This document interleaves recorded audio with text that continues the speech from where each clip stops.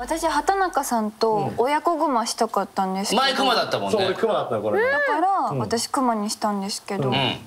ウサギになって。調子切ってもらっていいですか？